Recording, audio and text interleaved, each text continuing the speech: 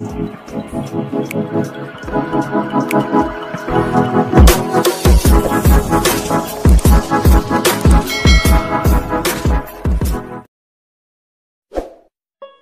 sawit di Bangka Belitung naik lagi.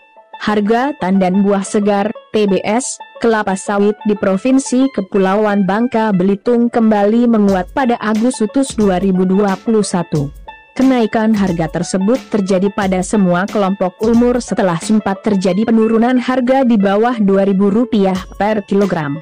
Pada kelompok umur 10 hingga 20 tahun, harga TBS sebesar Rp2.285 per kilogram lebih tinggi. Dibandingkan bulan Juli hanya Rp1.932.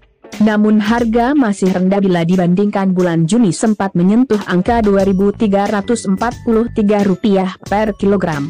Harga TBS ini berlaku surut dari tanggal 1 Agustus hingga 31 Agustus 2021. Tim pelaksana penetapan harga pembelian TBS itu juga menetapkan harga TBS untuk kelompok umur 3 dan 4 tahun masing-masing sebesar Rp1.895 dan Rp1.965 per kilogram.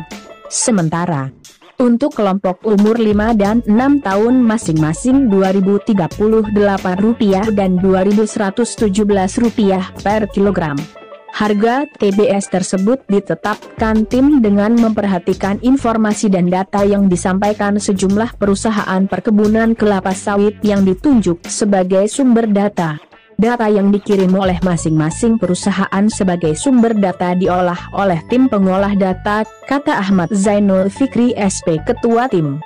Pelaksana penetapan harga pembelian TBS Dinas Pertanian dan Ketahanan Pangan Provinsi Bangka Belitung dalam berita acara hasil rapat tim penetapan harga pembelian TBS kelapa sawit Provinsi Kepulauan Bangka Belitung dikutip dari Distan Babel Prof. Goi, Kamis, 19 Agustus 2021. Sedangkan harga TBS kelompok umur 7 tahun tim menetapkan untuk setiap kilogramnya seharga Rp2.225. Untuk kelapa sawit, umur 8 tahun Rp2.262 dan umur 9 tahun Rp2.267 per kilogram. Harga komoditas kelapa sawit dalam tren meningkat sejalan dengan kenaikan harga CPO. Hingga pertengahan tahun ini, harga TBS, tandan buah segar, kelapa sawit di berbagai wilayah Indonesia lebih tinggi dibandingkan tahun lalu.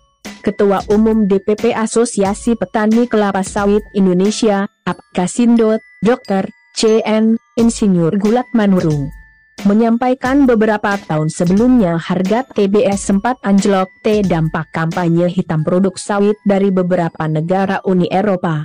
Namun, tahun ini harga sawit terus melonjak. Ia menyebut kenaikan harga didukung oleh kebijakan pemerintah, seperti UU Cipta Kerja dan kebijakan mandatori biodiesel B3